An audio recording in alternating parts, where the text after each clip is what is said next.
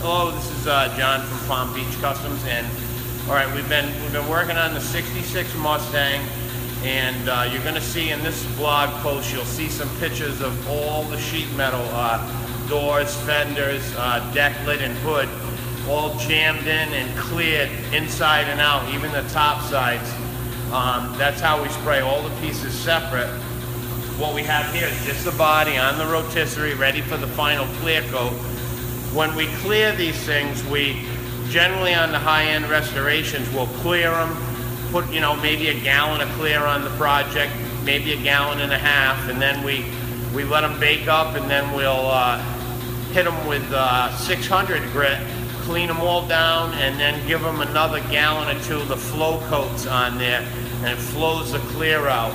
Much better than the average collision job. If your car comes into a collision shop, it's just gonna Normally they'll bring it in, base it, um, and put three coats of clear on it, ultra fine, and buff it and ship it. Here we do a, you know, like four coats of clear, wet sand it, and then four more coats, then ultra fine and buff, and it's like mirror mirror finish.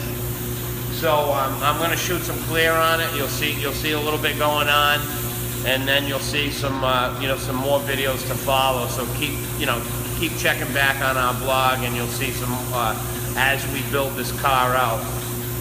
Make it a great day, Johnny from Palm Beach Customs.